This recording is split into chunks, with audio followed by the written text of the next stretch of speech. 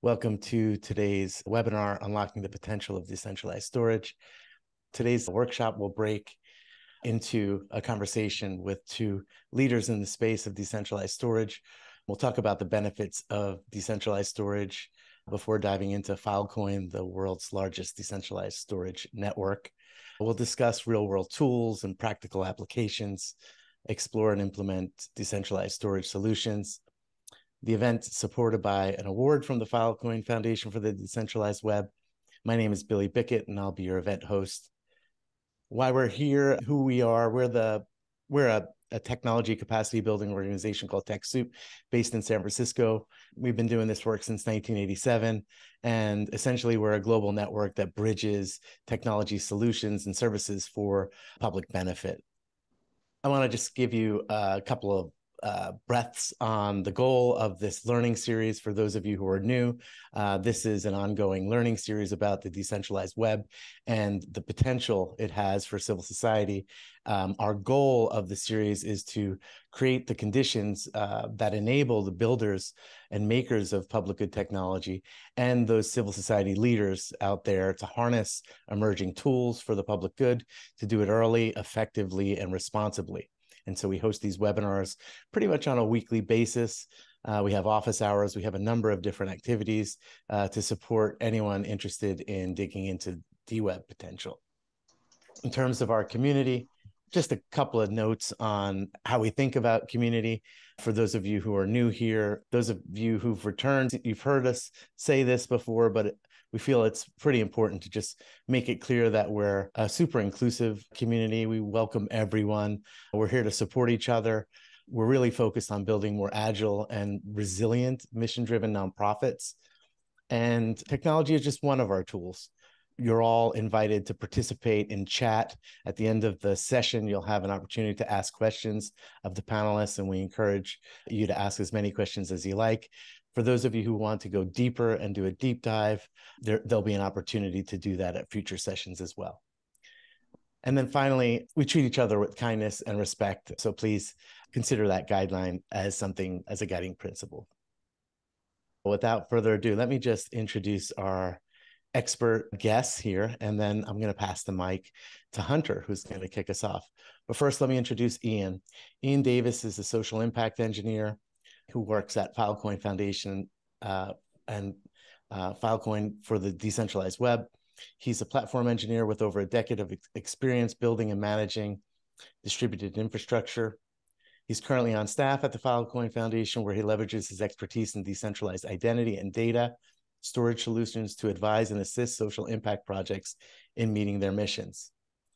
Hunter Tresidder is the head of global so- social impact programs at the Filecoin Foundation for the Decentralized Web, where he leads a team focused on building a more equitable internet.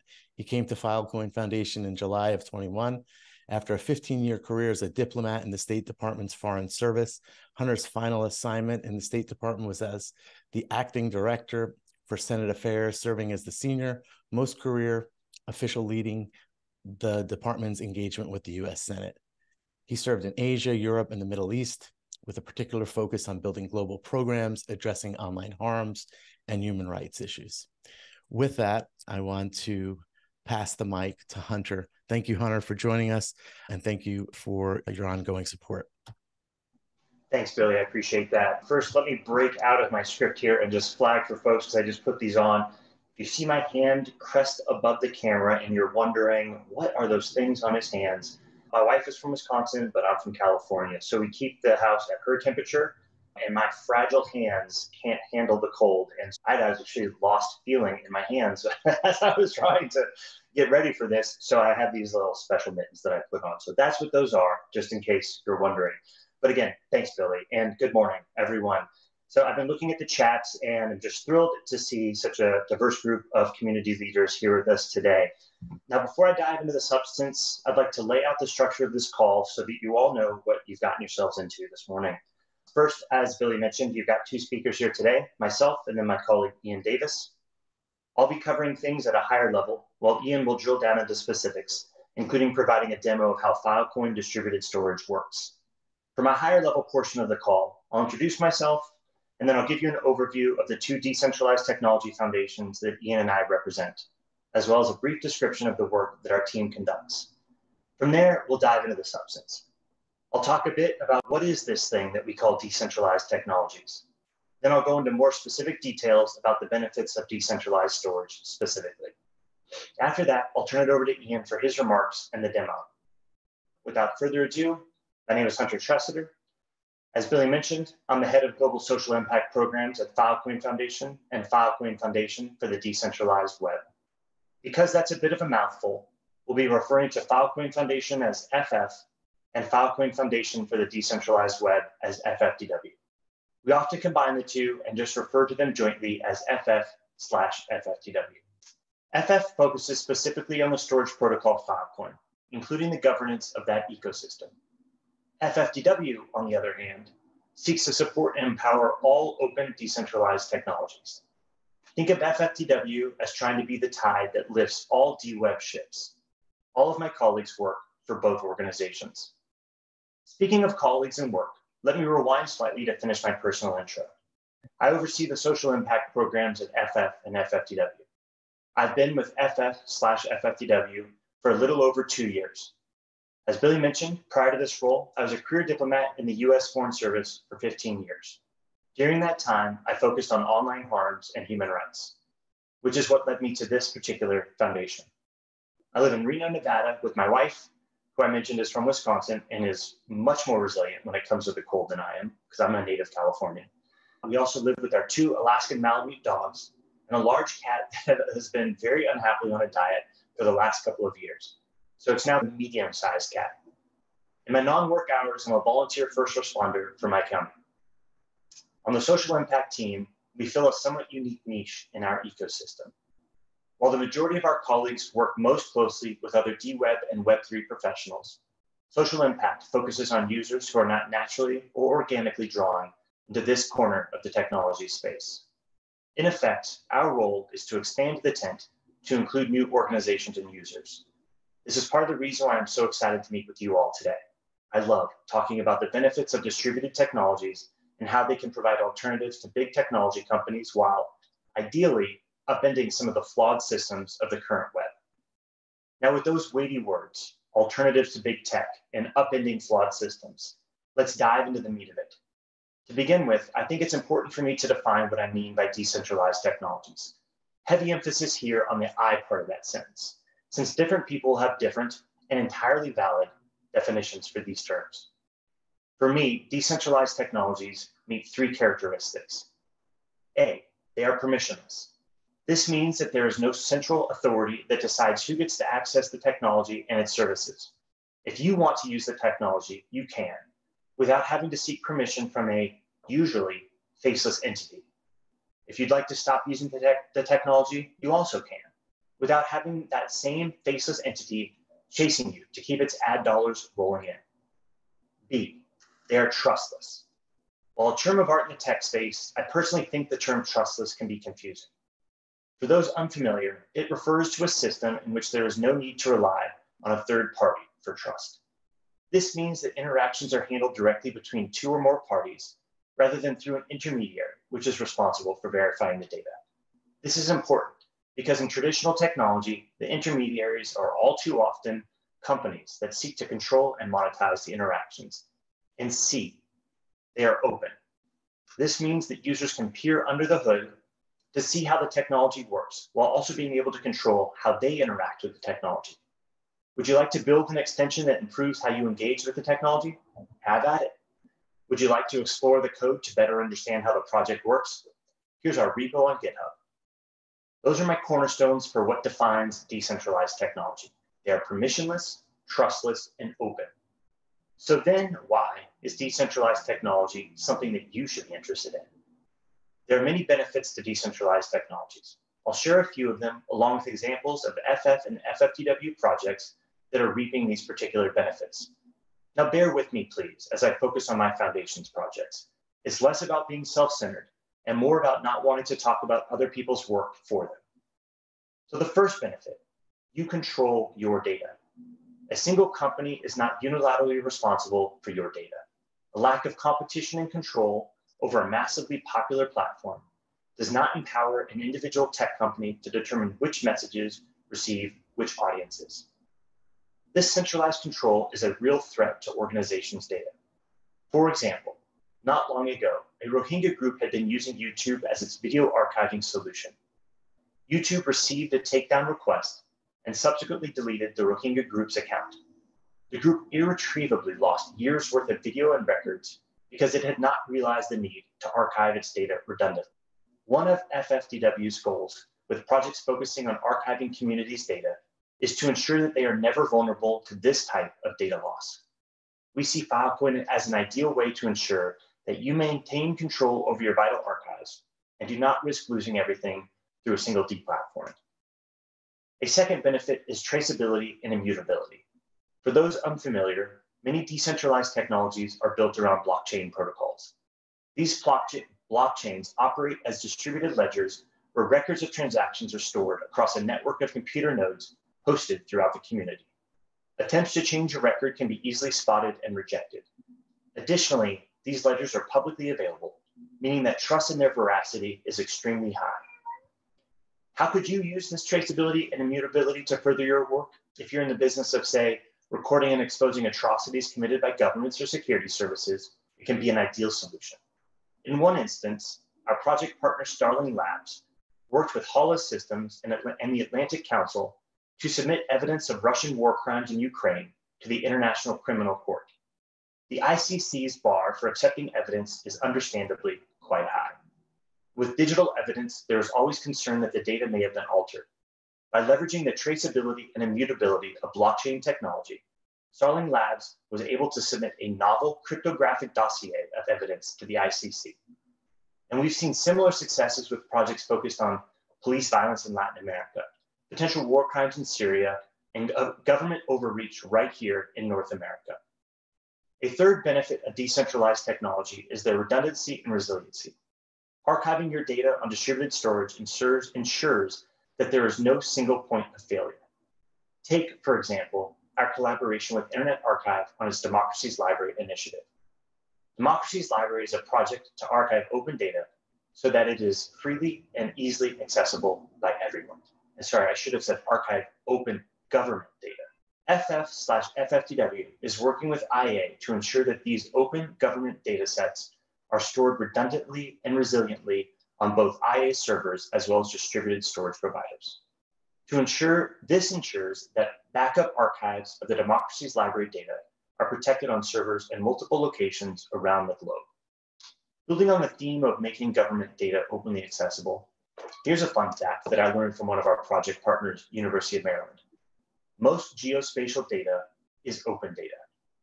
This is because most geospatial data is collected using taxpayer-funded government resources such as satellites. If most of this data is open, why is most of it also so difficult to access? The answer is that governments may label the data as open, but these same governments do not often have the expertise or resources to build easy to use repositories to access this data. And this is where private for profit companies come in. They slap a watermark on the geospatial data and then host it behind a paywall. Now, while legal, this is certainly against the spirit of open public data. But these companies are simply following the dictates of the centralized internet incentive structure. Decentralized, decentralized technologies have the ability to upend these incentive structures. For example, smart contracts can be used to automate payments and revenue sharing to an artist. Now, regardless of the form, these incentive structures can be designed to scale without the centralized control that we so often see from traditional tech companies. In the case of our collaboration with University of Maryland, we're able to build an easy to navigate platform that hosts the type of geospatial data that was all too often previously hidden behind paywalls. We're able to populate the platform with new data sets through an active collaboration with the geospatial data community. Speaking of the power of leveraging community data, Another of our collaborations is with the Human Rights Data Analysis Group, known as HRDAG. HRDAG works with community groups, truth commissions, and others to bring data about human rights abuses into the light. HRDAG obtains this data from a variety of sources, including community repositories. HRDAG then pushes for the data sets to be made publicly available to ensure that the truth is spread as widely and as openly as possible. This effort benefits from the resiliency of distributed storage technologies. By archiving its data with distributed storage providers, HRDAG ensures that its data is redundantly protected from loss. I'll now turn it over to my colleague, Ian Davis. Ian is going to demonstrate how you might replicate HRDAG's use of distributed storage to make your data openly and resiliently available to the public. Thank you. Over to you, Ian. Great. Before I get into exactly how HRDAG uploaded their data, I'm going to give a little bit of a background on how decentralized storage works and how it's different than traditional storage.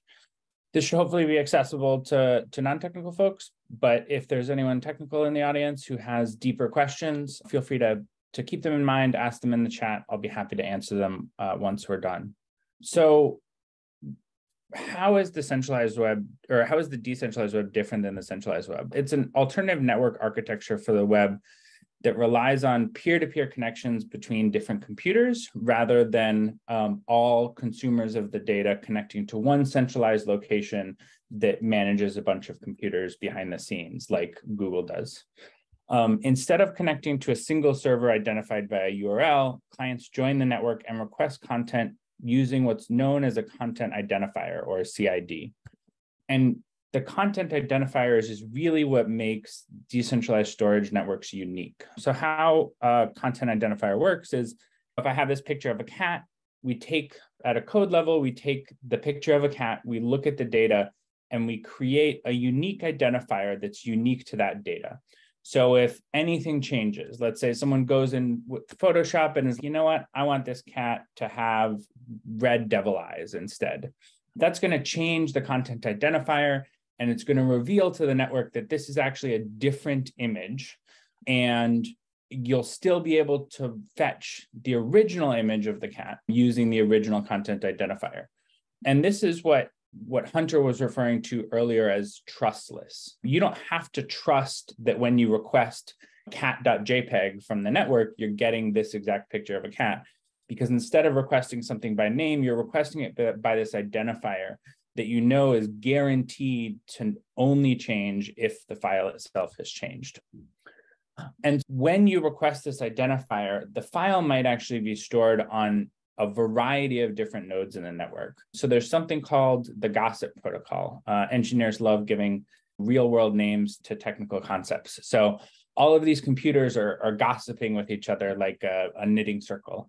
And they're all asking each other, do you know where I can find this cat picture that's identified by this content identifier that I've just been given? And one one node might say, I don't have it, but I know this node over here has it. And then you connect directly with the node that has the file, and you can download it onto your own node. Now, this is how the system works behind the scenes. Most people, when they're interacting with the decentralized web, probably aren't running their own nodes. They're interacting with a provider like Web3 storage, which we'll go into more detail later, who interacts with the network on their behalf, uploads data for them, and then they can access it through something called an IPFS gateway, which we'll go into more detail about during the demo. So you request this file, you connect to a node that has it, you get delivered the content back. Where does Filecoin come in? IPFS is just a decentralized storage network. It doesn't by default, people are just storing files on IPFS nodes out of the goodness of their heart or through some sort of paid service to host these files.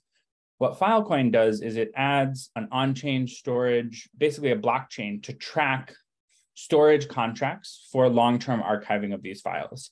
So if you want to make sure that a node keeps a copy of a file for an extended period of time, you can use Filecoin. And what the sort of blockchain network does is it has a proof system that every 24 hours it verifies that your file is still provably being stored by one of the nodes. And this means that indefinitely you will always you can ensure that the content is being archived by this network. Anytime somebody asks for a CID, anytime someone asks for that cat picture, they're going to be able to get it back. And the cat picture example is obviously a fun example to use in explaining this. But as we go into the demo, HRDAG has really used this to to archive some of the most important human rights data that they have. If we're looking here, and I, have got a couple windows here because as we go into the demo, I'll need to be putting some data into my into my window here. But if we look here at this is a, a blog post by HRDAG that's talking about some of the data sets that they've collected. So here we have both DWeb and centralized server. So they're hosting it on their servers the same way they do with the rest of their data. But as part of a partnership with us, they also created this IPFS decentralized web version. And so if you look at this is actually a different website called an IPFS gateway that's just giving insight into the network. And later on, we'll go into more detail, but there are multiple IPFS gateways. You can choose which gateway provider you want to use. All of them will give you access to the same content because the content is identified by this identifier here known as the CID.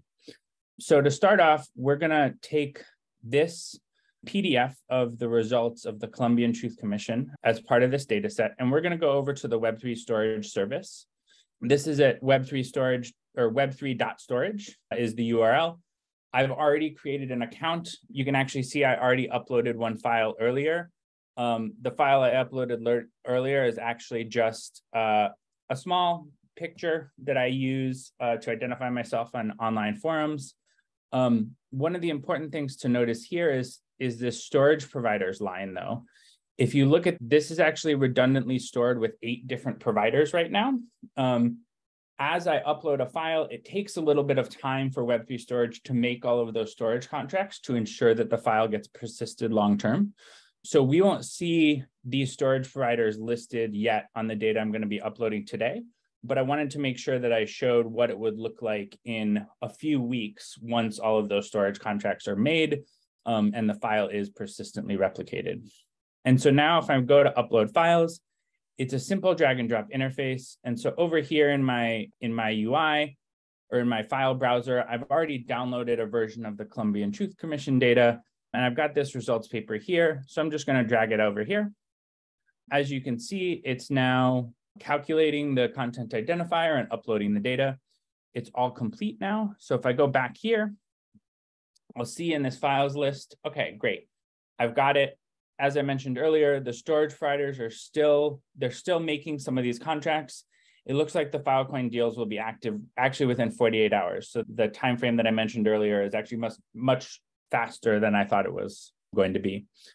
And if I click here, it, it'll take me to, like I said, a, a version of the IPFS gateway um, that's hosting this file. Um, and if I click on it, it's very easy to, to see the file again. Um, you can use these IPFS gateway links in your on your website, just like HRDAG did. Uh, nobody has to download any IPFS software. They can just interact with these gateways the same way they normally would and trust because the content identifier is the same as the one that you identify um, that you uploaded that the content they're requesting from these third party gateways is actually the same content as what you uploaded. But sometimes you want to upload more than just a single file.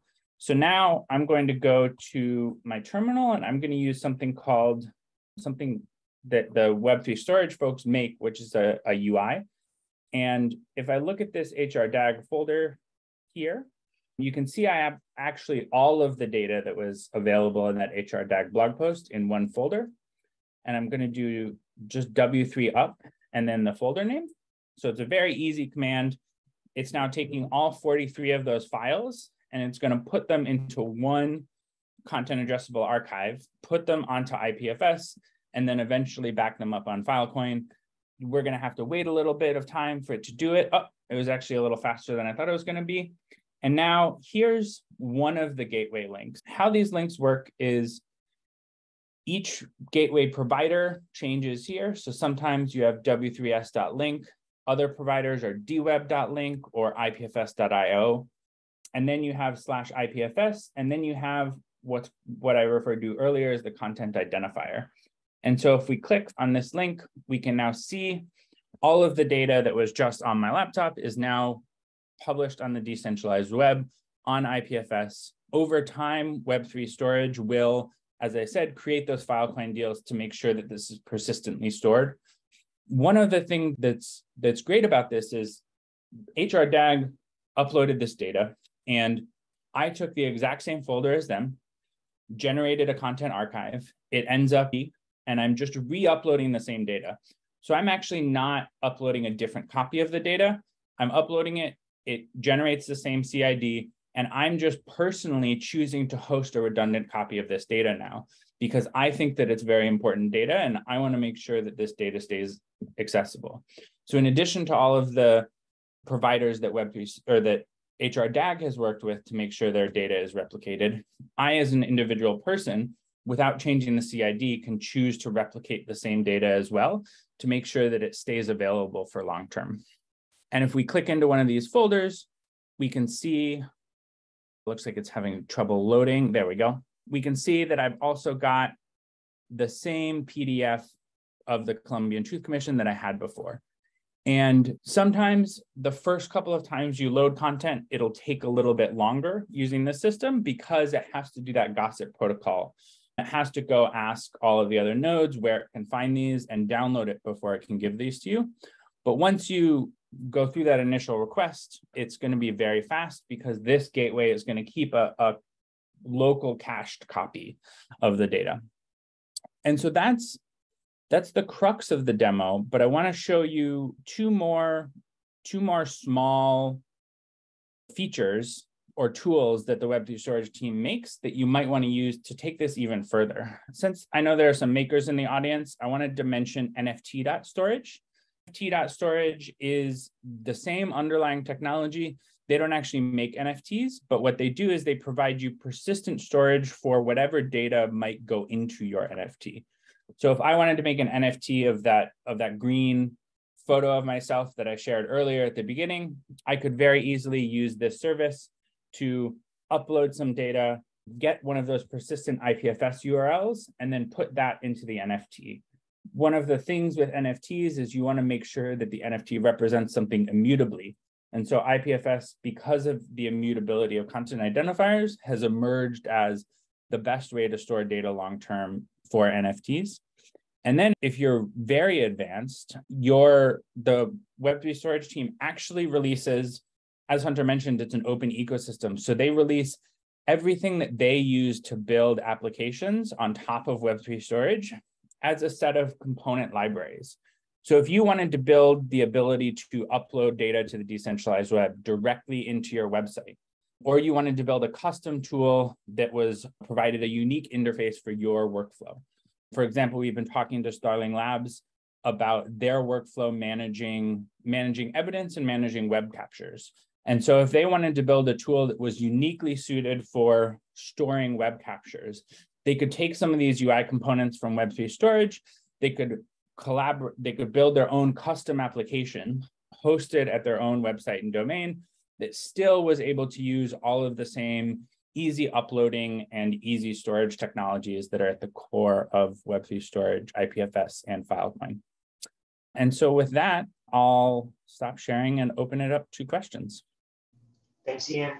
you know, real quick before we dive into questions, one thing that I want to touch on, it's not really a question, but I think is an important detail to note about how our foundation approaches this work is that as excellent as Ian is at presenting these details, there's absolutely no expectation that coming out of a demo like that, that anyone on this call would know how to just dive in and, and, and use the technology. This was a demonstration on the efficacy of it rather than the, the practical use of it. And so we want you to know that literally our jobs is that we are here to help. If you are interested in this, if you have any questions, please don't be shy about reaching out. We would love to help walk you through how you might utilize these technologies. With that, Billy, I'll turn it over to you. I think that we've got some questions. Great. John asks, what assures IPFS are good actors hosting your data that, that might be personally identifiable information? Wait, I'm sorry, Billy. Would you mind reading that again? I, I my audio glitched for a second. Yeah, no problem. John asks, "What assures IPFS are good actors hosting your data that might be personally identifiable information?" I think the question is there: How do we ensure that we're protecting PII? Is Billy? Is that your read of it as well? Um, yes. Um, Yeah. And also, how do we ensure that the data that's being stored is being stored with good actors? One of the wonderful things about decentralized technologies is that they give you choice. You are not really bound into a system where an easy example is Twitter versus Mastodon. If you are, I'm sorry, X versus Mastodon. So if you're just using, if you're using X, you really have to only, you really only have to follow the rules that are at this point a little bit fickle that are being defined by that one technology companies. Whereas if you're on Mastodon, which is an open decentralized alternative to X slash Twitter, then you have the ability to decide which particular space within Mastodon you would like to use as your social network. And so you have a number of different alternatives that define their approach to, to social networking ways. In the same way that if you're using distributed storage, you get to define your requirements for the storage providers and you get to go out there and ensure that the storage providers that you're working with meet your particular requirements. Now, as far as it applies to PII, so you might say, I want storage providers that are going to be respectful about my data in X way or storing it only in these geographic areas, which is something that we see that the geographic locations is something that we see with people who are storing government data. Sometimes they don't want that government data to be stored, even though it's open government data, they sometimes don't want it to be stored within certain jurisdictions that they might consider to be problematic. Now, when it comes to PI, the default for Filecoin and for many types of open distributed storage is for open data. They're in the name, right? Open distributed data. PI can be a particularly difficult thing to store in that environment. But for people that are looking to protect things like PII, the default is encryption. So what you would do is you would encrypt your data before it goes into the storage platform. And there are a number of different ways to go about that. I'll turn it to Ian to talk about some of the different ways that we've seen people approach the encryption of data, but that really is the solution when you're working with things like PII that you certainly don't want to make openly publicly available. Yeah, like Hunter said, this network is really designed for persistent long-term storage of open data sets.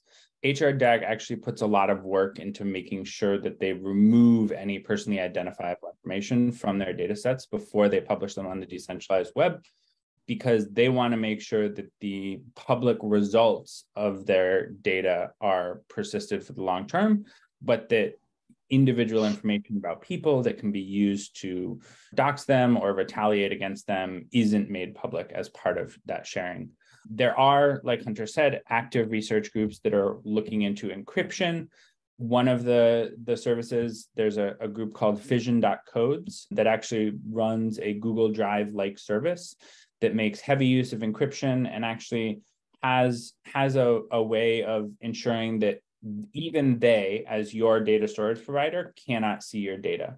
In fact, nobody can. They create a set of keys for your for your account, and only you have access to the data. You can sh- potentially share it with other people, um, but they and nobody else on the network uh, who doesn't have access to your keys can decrypt and read any of your personal information. Um, so that's one solution. We've also seen some people starting to experiment with what are called private IPFS networks. So by default, this the network I just demonstrated is a global public network. Um, so anything that is uh, posted onto it is freely accessible to be downloaded by anyone. Um, encryption means that if somebody tries to download my data, they won't be able to read it, but they'll still be able to download it um, from the public network. So people who don't think that is enough have started doing private IPFS networks. So the data is only shared on a network that's accessible to, for example, me, my coworkers, and my friends. And additionally, on top of that, it's encrypted. One of my friends might be able to download an encrypted blob of my data, but they're my friend, so I'm going to trust that they're not going to try to break that encryption. Uh, and yeah, so that's really where those are some of the solutions people use for storing private information. But again, like Hunter said at the beginning, we really recommend people mostly focus on the use cases for public data, public and open data, because that's really what the technology is best, most used for and most useful for. Great. We've got another. Yes. Go ahead. Billy, if you don't mind, if, if I could prioritize uh, a question here, because I think that it segues so naturally into uh, the question you had posted, which is what sector of civil society that the types of orgs have the most to gain and, and the least to use in using decentralized storage based on your experience? If you don't mind, if I could jump to that one, since please, I think it's just such a natural segue. So really for me, the heart of that question is what types of organizations will benefit the most from distributed storage like Filecoin? And building off of what Ian and I had just said, for us, oftentimes it really comes down to organizations which are in the business of making large data sets openly and publicly available. I'll reference an organization that we've been working with that we didn't mention during our, our presentations, which is an organization that works with community groups, largely minority and frankly, oftentimes disempowered and disenfranchised community groups throughout the country that have been struggling to make their community archives resilient.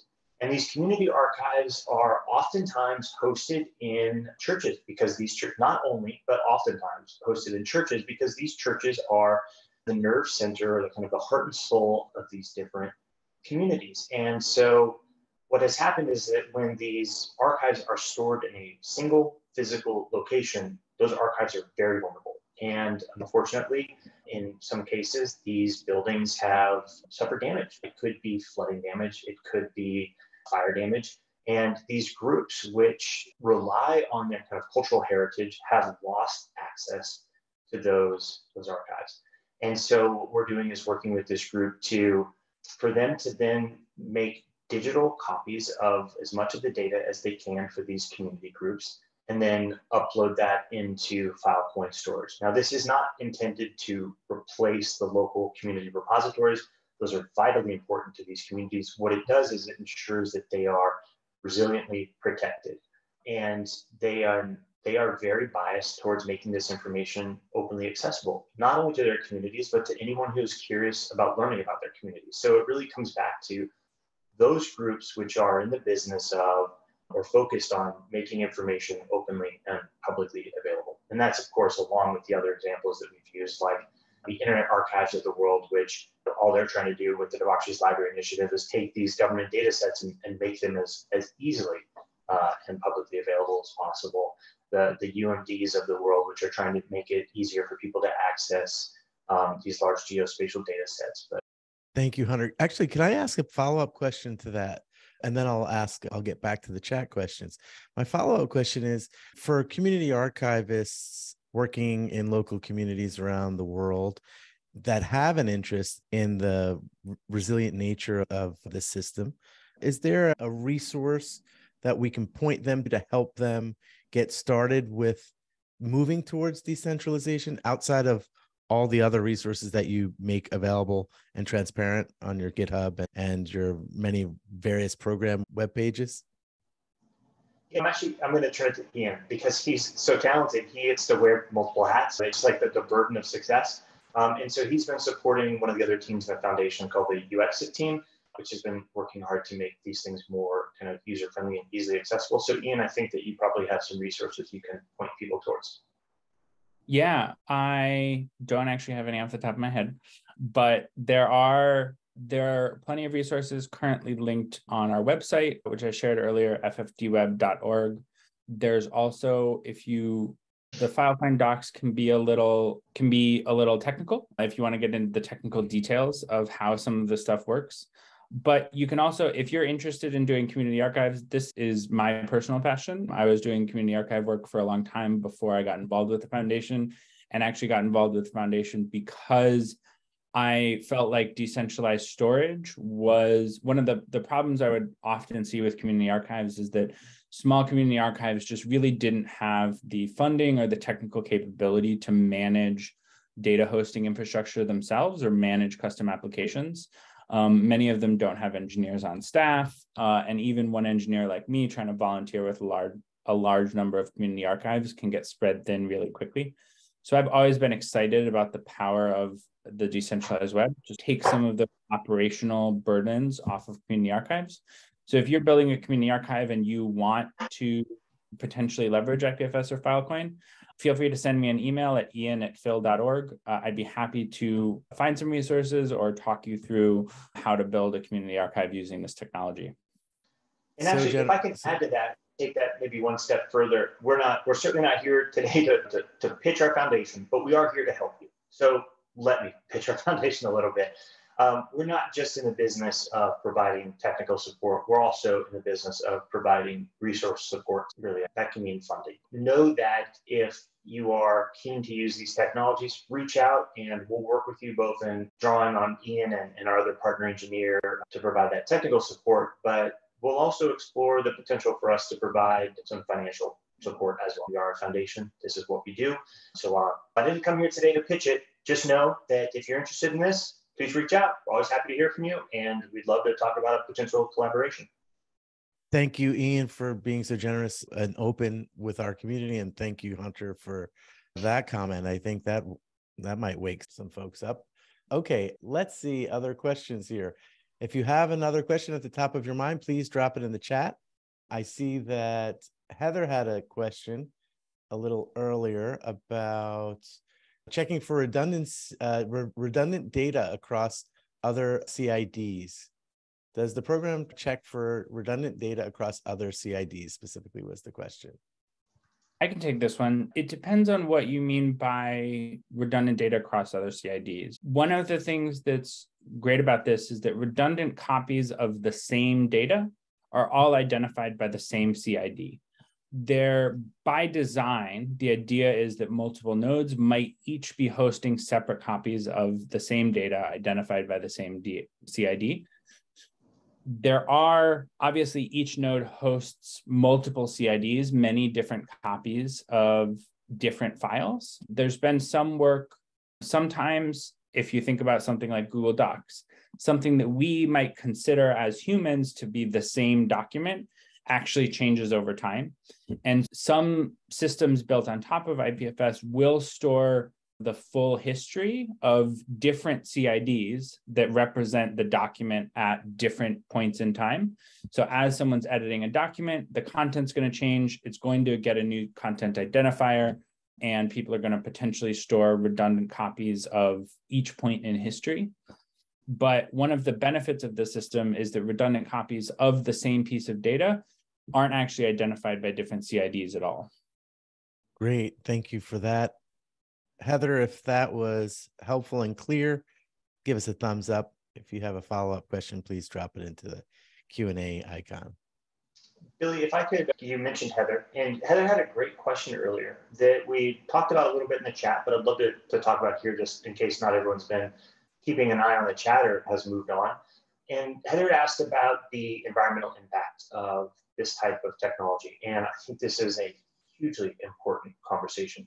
It is no secret that certain types of blockchain technologies, and Bitcoin, I think, is the one most often referenced in this uh, case, require a significant energy load in order to function. And that's because they are proof of work.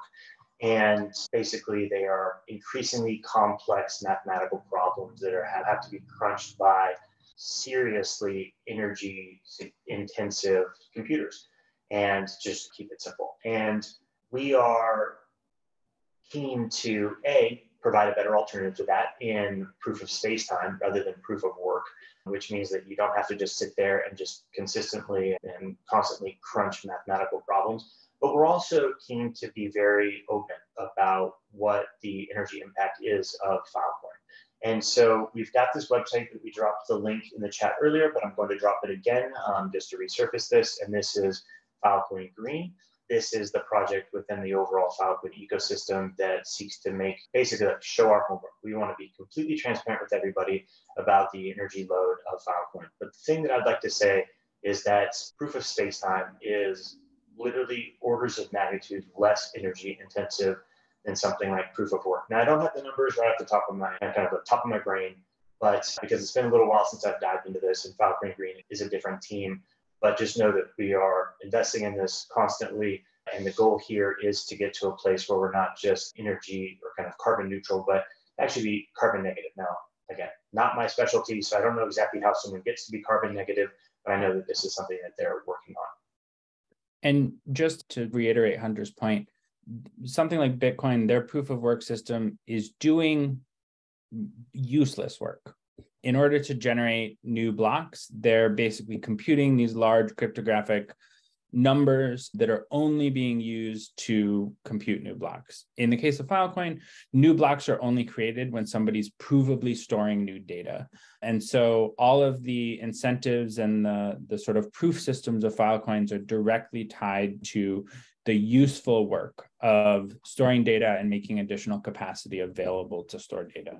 And the Filecoin proof system that checks every 24 hours to make sure that a particular file is stored actually doesn't even check the full file. They use a, a special cryptographic process that only checks small bits of the files and are able to prove that the entire file is still there by randomly choosing small bits of the files to check.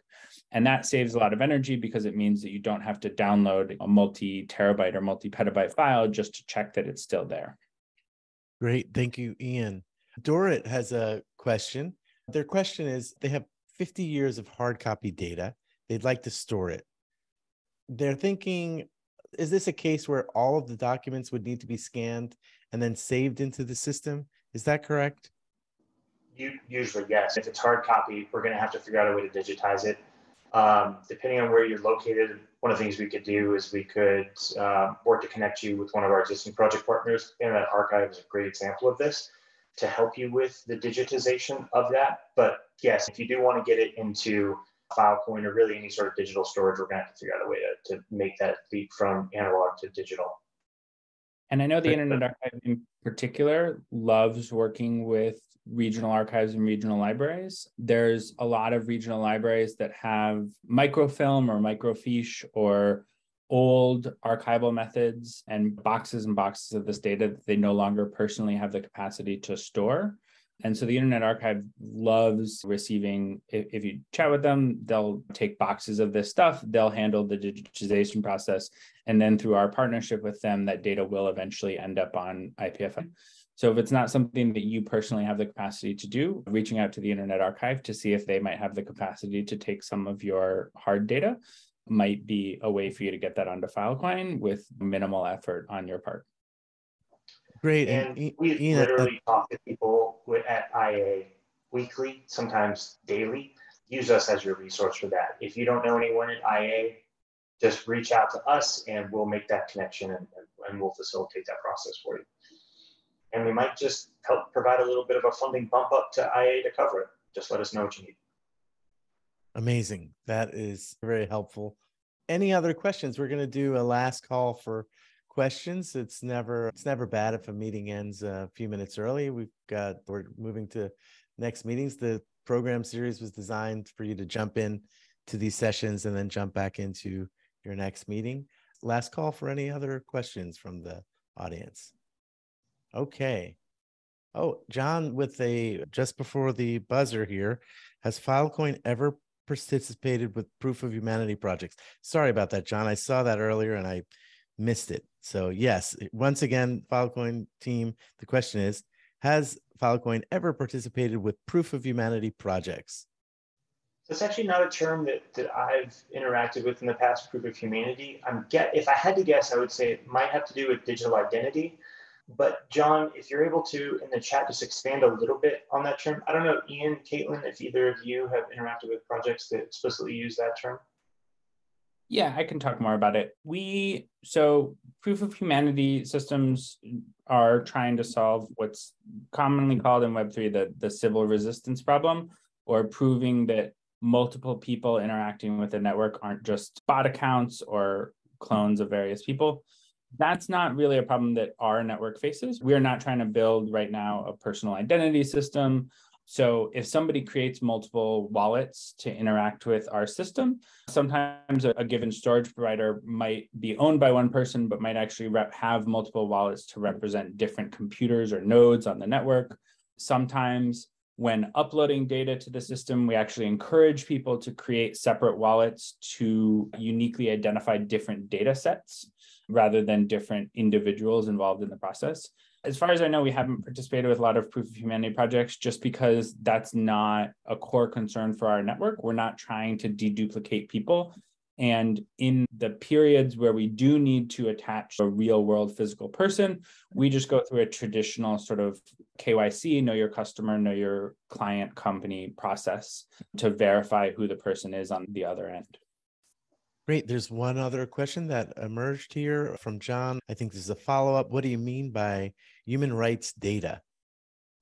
Yeah, I saw that. Thanks. It's always trying to define a term within a group is always a really difficult process. And it's easy to get bogged down in that. And so I wouldn't want to tackle that because part of it is that we as a foundation don't believe that it's our job to tell anybody how they define their data, both not just something in terms of whether or not it's human rights versus not human rights data, but also the value of that. If an organization or a community or a group feels that their data is valuable, then to us it's valuable.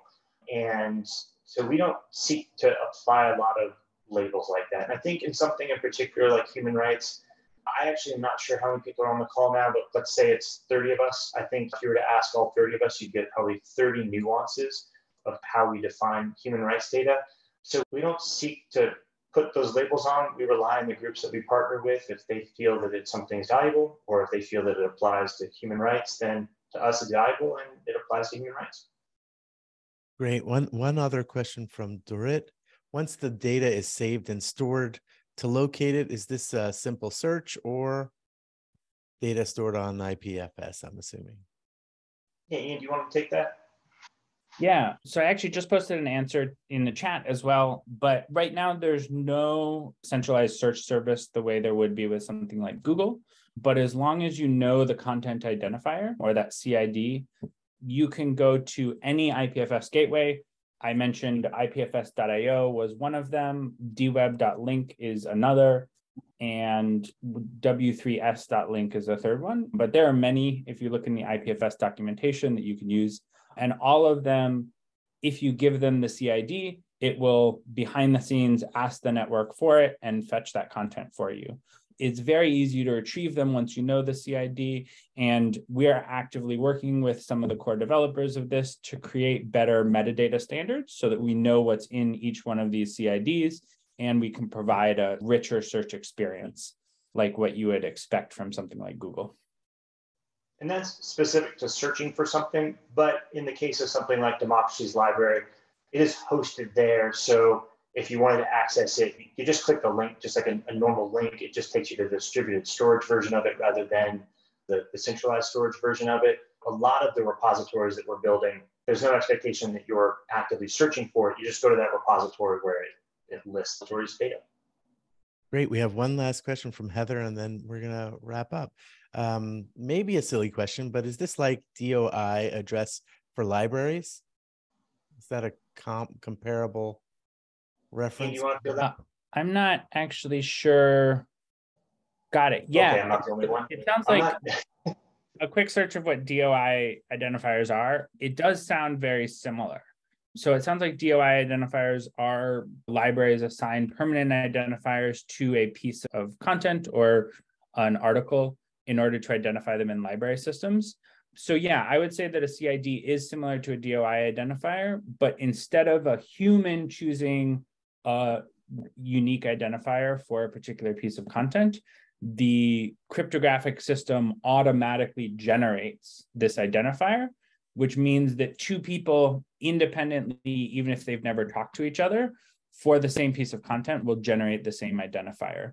I assume the DOI system, because there's someone involved who's assigning the DOI number to a particular piece of data, means that there has to be some coordination among librarians to make sure that everybody agrees on what DOI identifier references what piece of content. Thank you. And I want to thank Heather and Lynn here for raising this question because you've just given us now a new wonderful analog that we can reference when we're talking to people. I certainly did not know about the DOI address system, but I'm, I'm going to reference it now.